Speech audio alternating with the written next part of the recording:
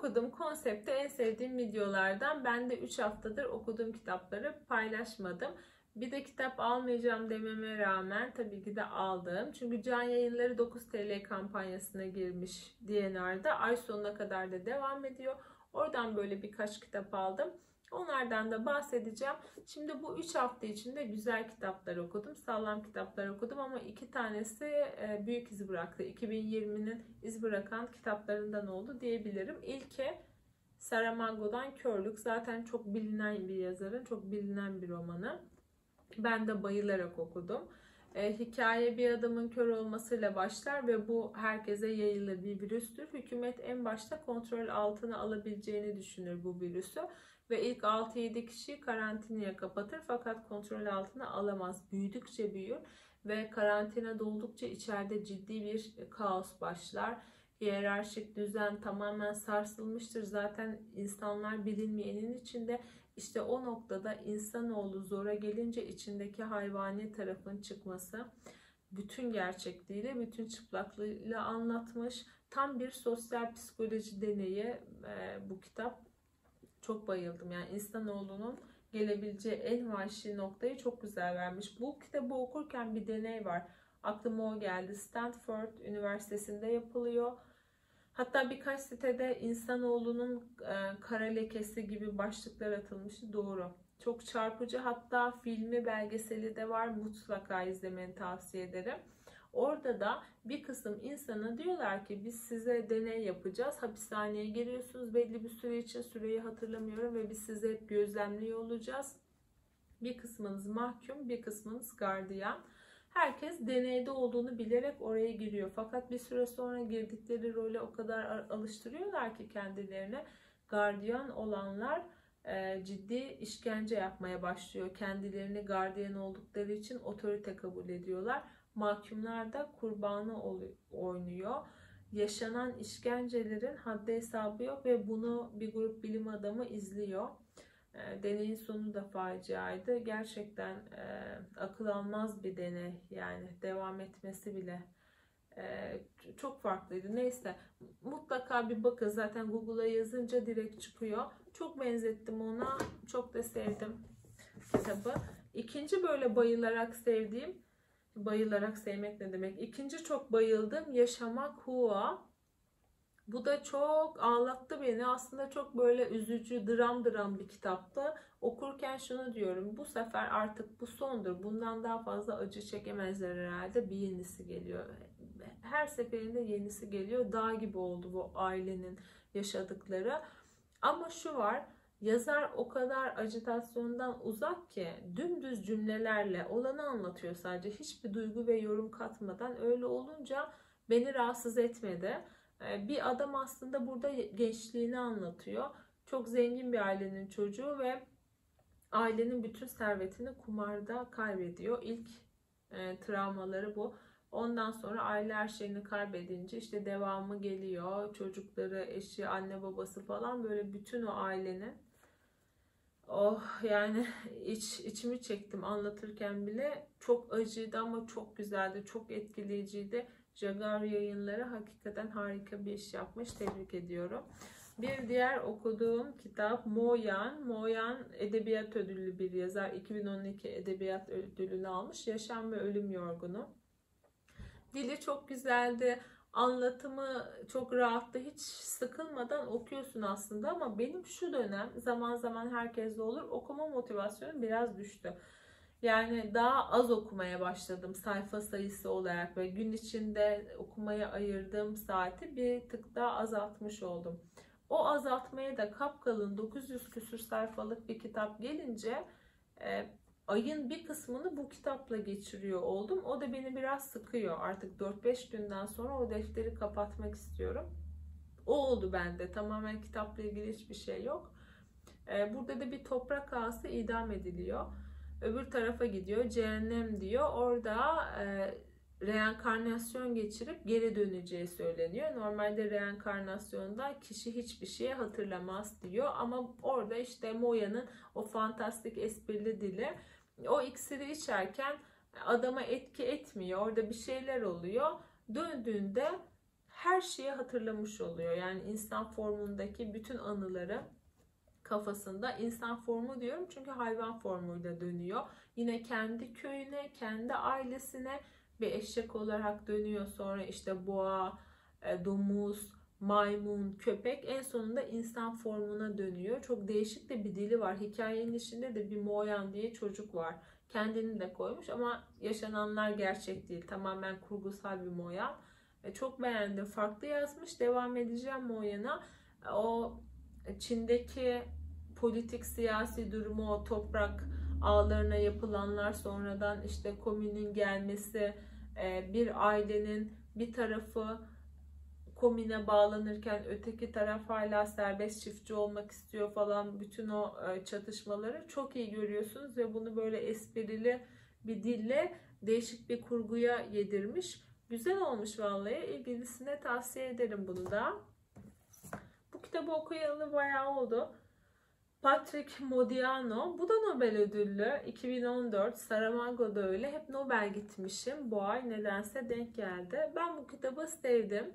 Ee, nasıl sevdim? Yani çok mu büyük bir iz bıraktı? Hayır. Aslında en baştan ortalara kadar nasıl bir gerilimi güm güm güm güm okuyorum heyecanlanarak orta sonlara doğru o gerilim düştü. Sonunda ne oldu şimdi falan diyorsun. Çünkü zaman kavramı da yok. Zamanda kayboluyorsun.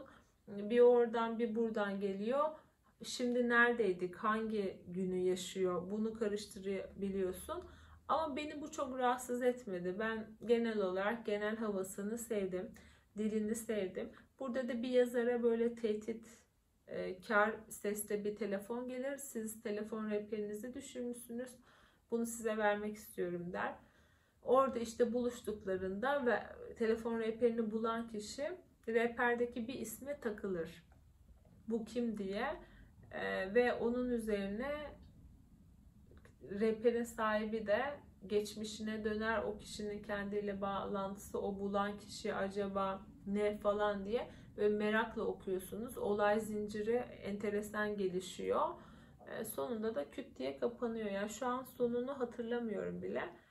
Ama hani kitaba bakınca genel havası bende iyi. Neden okumadım demedim. Yazarın dilini sevdim. Bununla e, Patrick Modiano'dan başka kitap okuyan varsa seve seve tavsiye alırım. Freud, Stephen Zweig zaten Saramago, Zweig falan bunlar banko yazarlardan ya. Benim için öyle en azından. Ee, Zweig çok iyi de bir biyografi yazarı. Şey diyorum ben hani Freud gelse kendini böyle yazamaz. Gerçekten edebi dili muazzam. E, Freud'u biraz hep arkasında olmuş, destek olmuş Zweig. Yani travmalarını, onun yaralı tarafları değil de daha çok e, Freud'un böyle yaptığı işleri e, överek, onu savunarak, ona gelen eleştirileri savunarak e, devam etmiş. E, çok güzeldi, dili çok masalsıydı, çok sevdim. Zweig'ın üstünde durduğu nokta şu. Freud'la zaten iki psikoloji kitabı okuyan e, Freud'un bununla ilgili caps'ler var, espriler dönüyor. Zaten Freud'un işte 0-6 yaş e, zamanında her şeyin oradan geldiği çocukluktan ve onların altyapısında da cinsel kavramların olduğu birçok durumu oraya bağlıyor. E, birçok insan için eleştiri konusudur bu. Zweig şunu savunuyor. Freud'un yaşadığı o yüzyıl cinselliğin tamamen tabu olduğu bir yüzyıl Kilise tamamen yasaklıyor bu sözcüğü. Bununla ilgili hiçbir hastalık bırakın tedavisinde kabul e, edilmiyor. Yani öyle bir terim yok. İnsanlar koskoca üniversite profesörleri gülüyor. Eşcinselliğin hastalık sayıldığı, işte cinsel mağdurlara bakılmadığı e, bir zaman diliminden bahsediyoruz. Akıl hastalığı diye bir kavram var. Sadece psikotik insanları tedaviye alıyorlar. Yani çok ağır tedaviler o da. Elektrikler falan süreç de daha farklı ve zor. E, işte şizofren olması lazım. E, hezeyan olması lazım. Ancak o raddeye geldikten sonra bir tedaviye giriyorsun. Peki o nevrotik kısım, o kötü anılar yaşıyor. Kişi hayatına normal devam ediyor ama o anıların etkisi hala sürüyor. Bunlar ne olacak diye bakıldığında e, dönem olarak cinsellik yasaklı olduğu için o dönemin ihtiyacı o. Hastalıklar hep e, cinsel kaynaklı e, tetikleniyor. E, onları içe ata ata toplum bastıra bastıra bir şeyi ne kadar bastırırsan oradan o kadar patoloji çıkar. Ve Freud bunu buluyor. Aslında bir devrim yaratıyor. E, oraya çok takılmış çünkü dönemin ihtiyacı o. Freud bu yolu açtığı için, bunu bir bilim olarak insanlara kabul ettirdiği için ve bunun için aforoz edildiği için ondan sonra gelen yani psikologlar, psikiyatristler yeni yeni kuramları oluştururken onların cesareti Freud'un başlattığı yoldur. E, onlar Freud'un üzerine ekleyerek gitmiş. Freud o noktada gerçekten bir devrim yaratmış. E, burada da işte e, o buluşları, bilinç dışını keşfetmesi, hipnozu keşfetmesi önce dil sürçmeleri, rüyalar, oradan bilinç dışı psikanalize girişini ufak ufak anlatmış Freud. Ben bir önceki alışveriş videomda söyledim. Bir Freud biyografi kitabı almıştım. Onu çok merak ediyorum. Çok çok merak ediyorum. Orada daha detaylı Freud'un bütün hayatını da gözler önüne sermiş sanıyorum yazar. Burada bu daha ince. Böyle daha güzel de yazılmış. Böyle tak tak okunuyor. Bir günlük bir kitap aslında. Kalınlığına bakmayın. Ben sevdim. Ya zaten zıvak olunca Freud falan da boş yani tarafsız olamıyorum. Zweig'ı her türlü seviyorum. Şimdiye kadar Zweig'den okuyup da beğenmediğim olmadı. Freud demiş yani düşlerin yorumuyla devam ettim. İlgilisine tavsiye ederim bu kitabı da. Bu kitabın ilk bölümünde Freud rüyalara diğer uzmanlardan bakış açısını anlatmış. İşte antik çağda rüyalara nasıl bakılıyor, o dini inanışlar, geleneksel inançlar, rüya ile ilgili ne? Ondan sonra gitgide bunun işte bilim tarafında e, bilim adamların, rüya uzmanlarının bu konudaki yorumunu ilk böyle yüz küsür sayfa farklı insanların yorumlarını derleyip toplamış.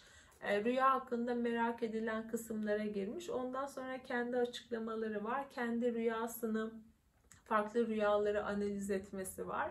Rüya ile ilgili böyle birçok merak edilen noktaya değiyor. E, bu kitap da güzel ama ilgilisine tavsiye ederim. Hani daha önce hiç psikolojiye giriş olmadıysa bu belki daha sonradan okunabilir. Anlaşılmaz olduğundan değil, dili çok anlaşılır. E, ama yani herkese tavsiye ederim diyemem. Ama tavsiye ederim. Bu da nasıl oldu bilmiyorum. Ayfer Tunç ilk okuduğum kitaptı. Kapak Kız, Ayfer Kapak Kızı. Ayfer Tunç'un kalemini çok seviyorum zaten. Kapak Kızı'ndan sonra Yeşil Peri Gecesi var. Yine aynı karakter Şebnem üzerinden geçiyor. Yeşil Peri Gecesi sanıyorum ki Şebnem'in hayatı artık. Onu okuyoruz, onu izliyoruz. Kapak Kızı'nda aslında üç farklı karakter ve bir tren yolculuğu. Evet tesadüfler var. Ee, üçünün de hayatına Şebnem değiyor bir şekilde bunu okurken bu tesadüfler, fazla tesadüfler, o bu hiçbir şey rahatsız etmiyor. Çünkü Ayfer Tunç çok iyi sorgulatıyor hayatı. Ee, çok etkilendiğim ve bana dokunan, benim yaşadıklarıma dokunan yerler oldu ve gerçekten bütün hafızamı dimdik ayağa kaldırıyor. Dokunuyor yani Ayfer Tunç. E, kendi yaşadıklarını düşünme fırsatı veriyor sana. Gözlemi inanılmaz iyi. O tren yolculuğunda o insanların kafasından geçenler e, çok iyi gözlem işi ya. Çok güçlü bir kalem. E, bunu da tavsiye ederim. Ben mesela Aziz Bey hadisesini falan müthiş beğenmiştim. Kapak Kızı'nı da çok beğendim. Ayfer Tunç'tan ellerimden olmaz herhalde. Daha çok kitabını okumadım ama yine de çok çok güzeldi.